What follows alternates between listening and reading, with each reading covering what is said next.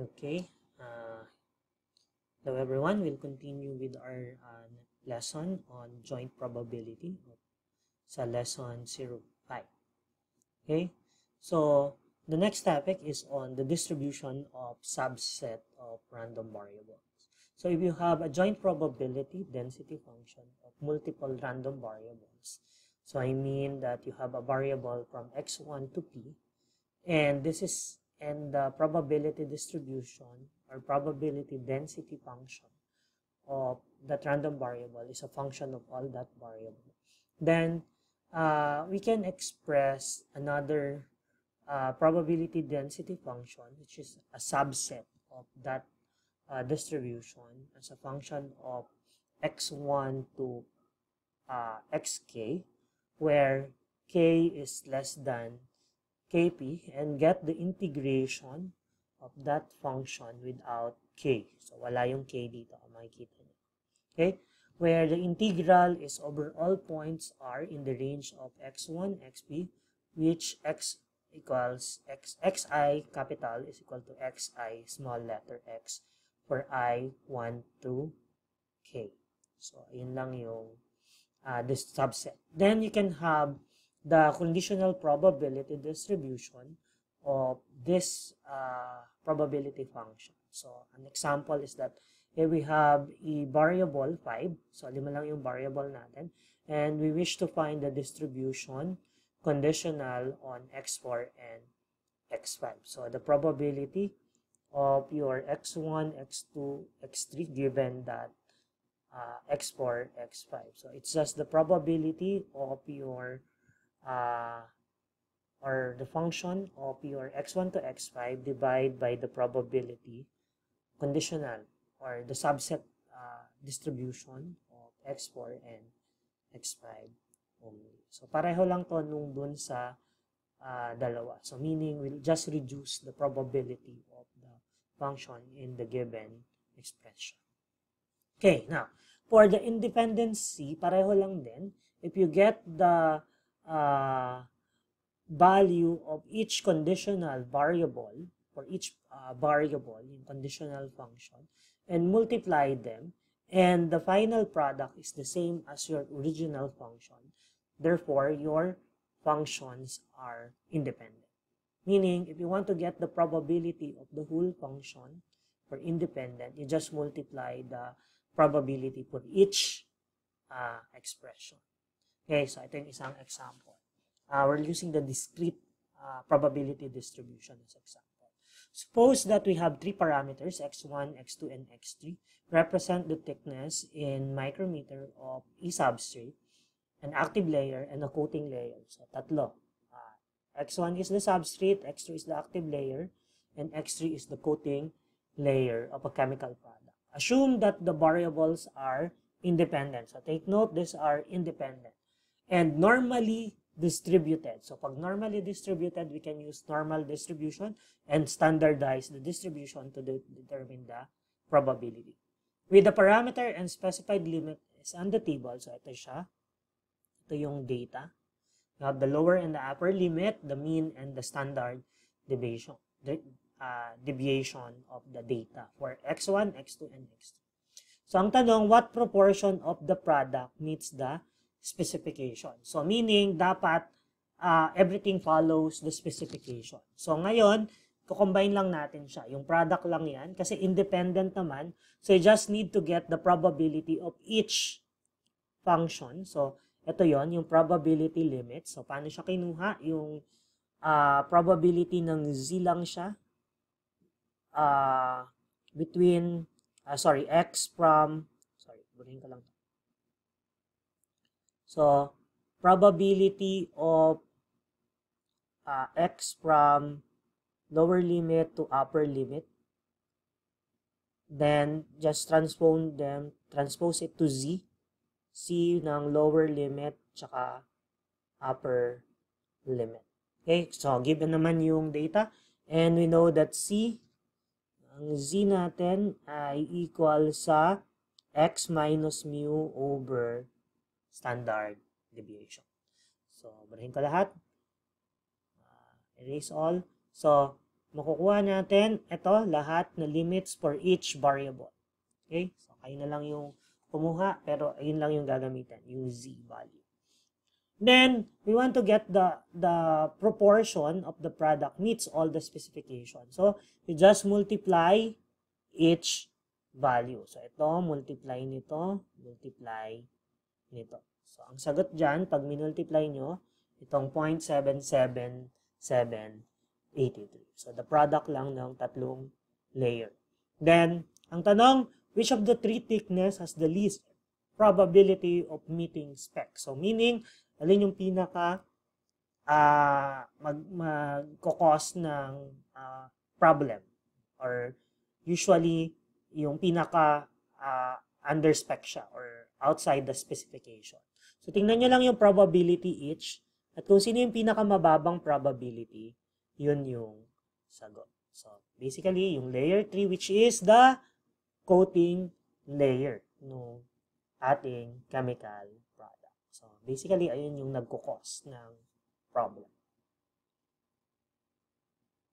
Okay, now, for joint probability, one of the parameter, dalawang parameter yung usually na we want to determine sa joint probability. Yung covariance at yung isa ay yung uh, correlation. So, correlation. So, for the covariance, uh, basically, it's just the uh, product expected value of each xy, where this is just the summation of each xy times your f of xy for all values of xy. Ganun din sa integration.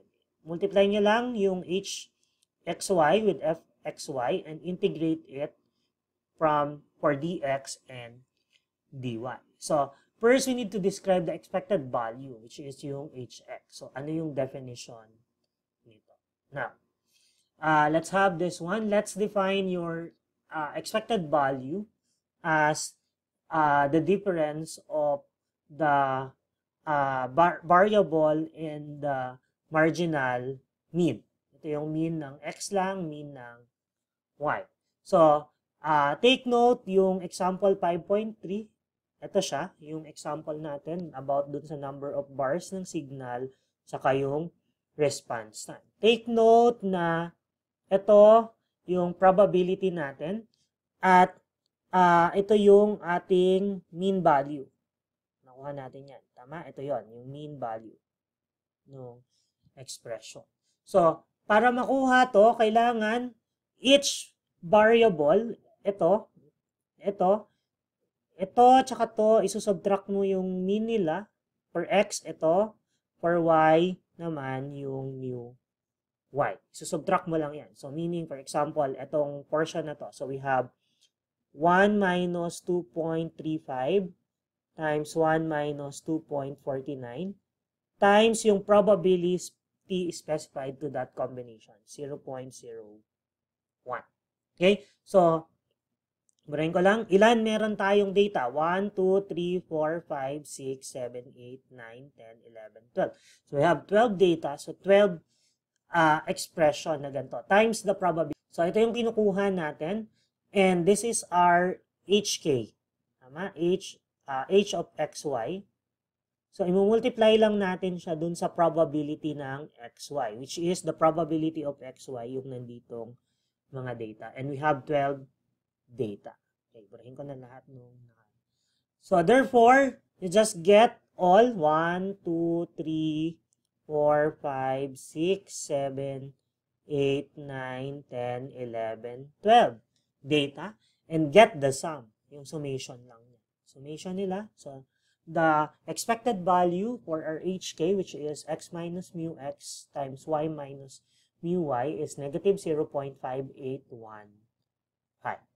Okay? Now, for the covariance, the covariance, which is uh, denoted as your sigma xy or you can use the cob xy parenthesis is just equal to the expected value of the product of the difference of your variable, your random variable minus the mean value or you can have the, the expected value of xy, multiply nyo lang yung kada parameter and minus dun sa product ng mean. Take note that the uh, unit of sigma are units of x times unit of y. So, multiply nyo lang yung unit. And the range of value is from negative infinity to infinity. So, yung example ng units, ito, yung xi feet, yung yi found. So, ang covariance nyo is foot found, yung units niya.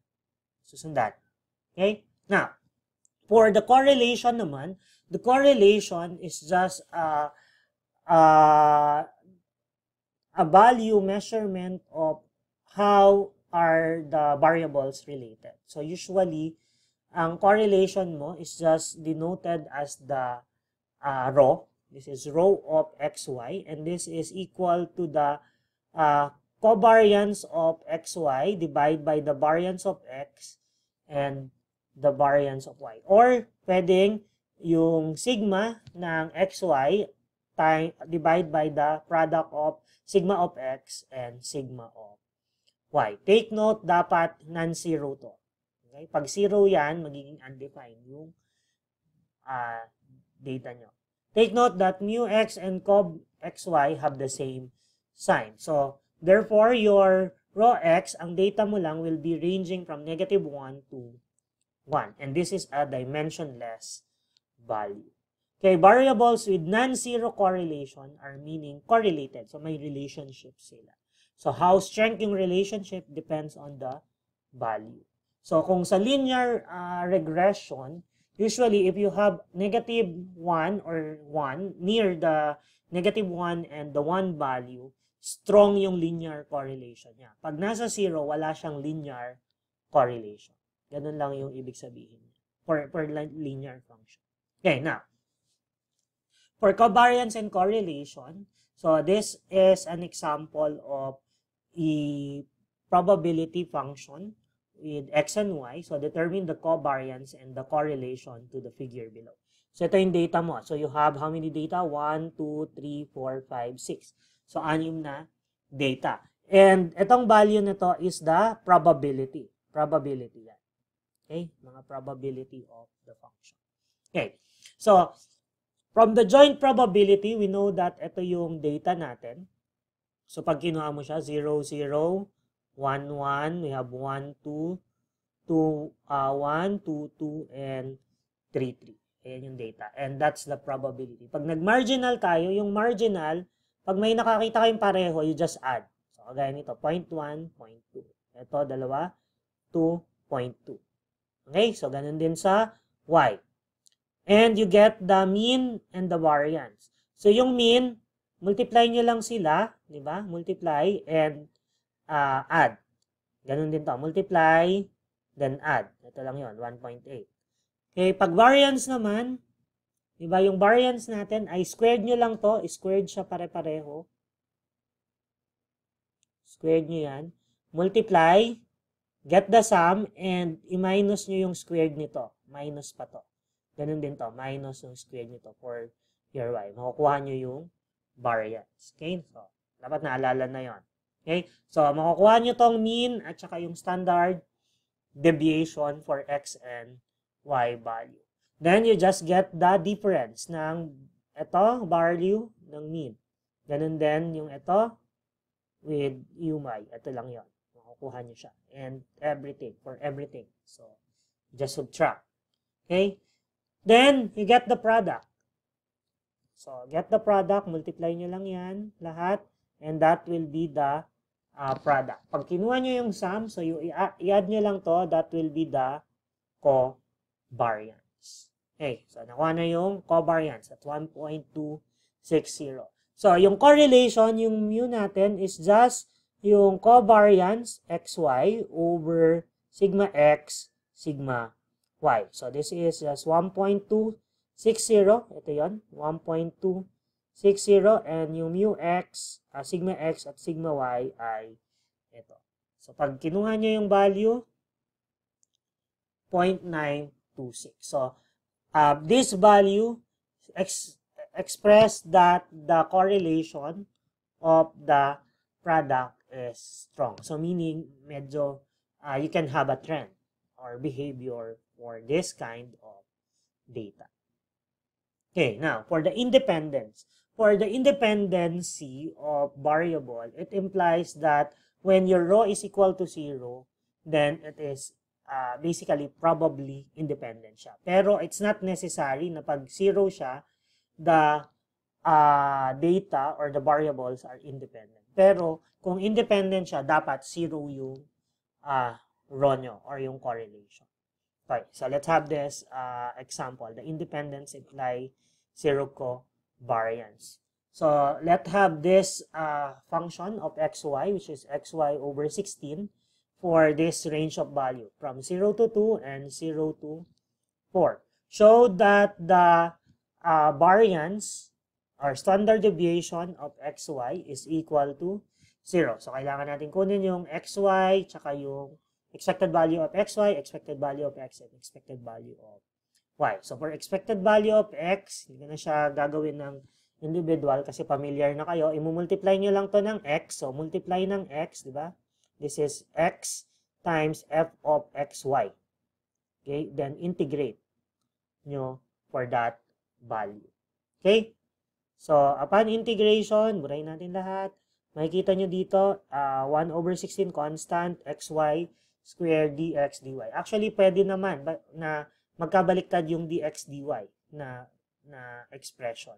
Ganun pa rin naman yung, yung lalabas na value. So, 4 over 3. Yung expected value ng y, ganito din to, integration ng, double integration ng y times f of xy dx dy. Okay? Or d, dy dx. So, And then siya, multiply nyo lang ng y, kaya y squared na yon then get the integration. Base ka na. So, madali lang naman yung integration nito.